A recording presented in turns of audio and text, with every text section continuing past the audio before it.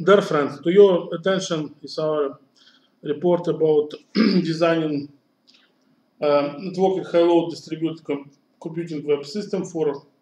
intensive processing of information data flows. This topic is um, very to time because um, now we have uh, with every with every single day we have multiplication of um, data flows and there is um, need to work with this data to find uh, database solutions, data mining, and so on. Uh, so we started from uh, grid models and algorithm of um, high-load distributed fault-tolerant web system architecture, and uh, that uh, topic um, become becomes um, many improvement in the last time, and um, we proposed a model and algorithm uh, that allow to use um, additional network resources that um, are connected to uh, functional network. And um, there is uh, some um, difference to the um, conditional approach because uh, we aim to construct a high-load fault tolerant distributed cluster software system that um, provides um, significant increase in total amount of information. That is our point. So, uh, uh, uh, in the uh, some next slides, we present uh, param parameters, uh, parametric uh, network model with time metrics that is used to um, calculate load volume. Um, these um, parameters are um, combined in formulas that um, um, define uh, such variables li- like uh, processing time of user task and uh, it allows take uh, to take into account the information computer uh, computer resources that are available uh, time of um, completed user task and time uh, that is still left to complete uh, complete the task for example. And um, consequently uh, we use um, uh, some approach to integrate um, uh, consumptions of uh, computing resources. And um, uh, in this um, information request uh, uh, is uh, main characteristic is the average response time and um, this um,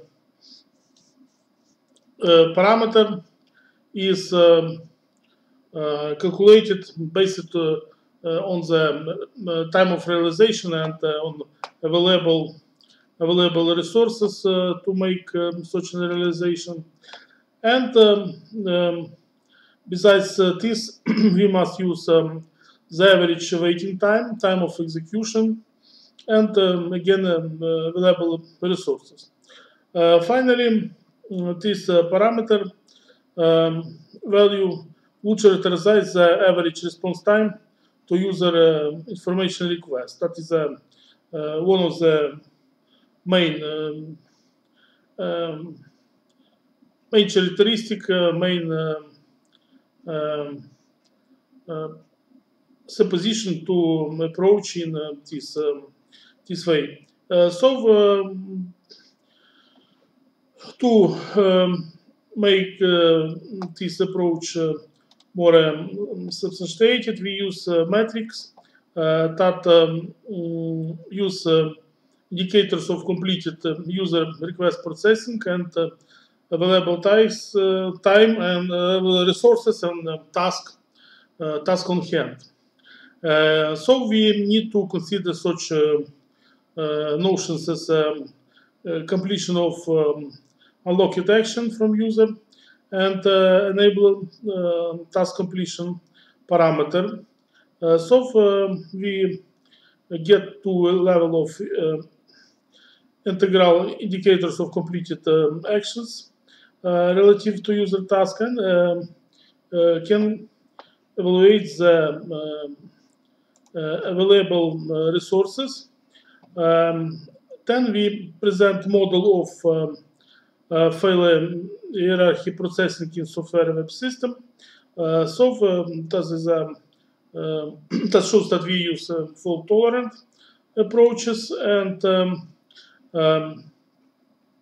we propose uh, algorithm for of uh, load redistribution in case of failure um, on some computing nodes. Uh, so it will be uh, recalculated a new way of uh, computation and um, uh, using indications of callback feedback, we can select um, um, relevant uh, logical paths and uh, to complete um, the initial task uh, in the um, this slide we um, present model of uh, transfer of states um, uh, that is format when we have information flows of data and uh, central part of it is active queuing of task and active modules. So um, to summarize the results, uh, it's needed to say that um, it is in proposed approach the interaction of computing modules uh, is uh, considered as synchronous exchange of information messages,